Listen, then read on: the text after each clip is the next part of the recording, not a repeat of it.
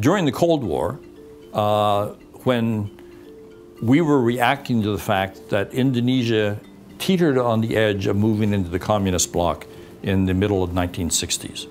Uh, and this is when President Suharto uh, emerged as the president of Indonesia.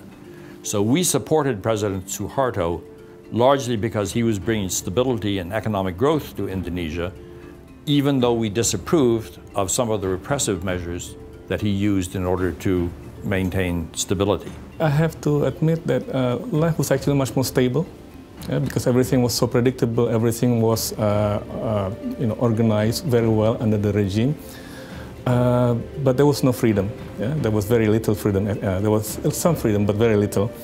And there was no room to criticize the government. There was no room to criticize the corruption that was taking place around us all the time. It was a time when we had very uh, strong political stability uh, at the expense of uh, democracy.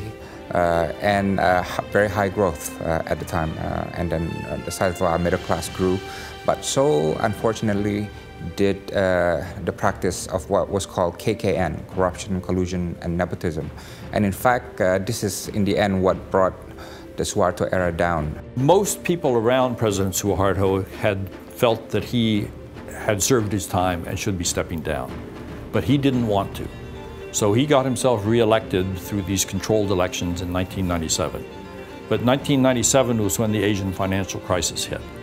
And essentially, the legitimacy of his rule had been based on rapid economic growth. People said that uh, enough is enough. Uh, something needed to be changed.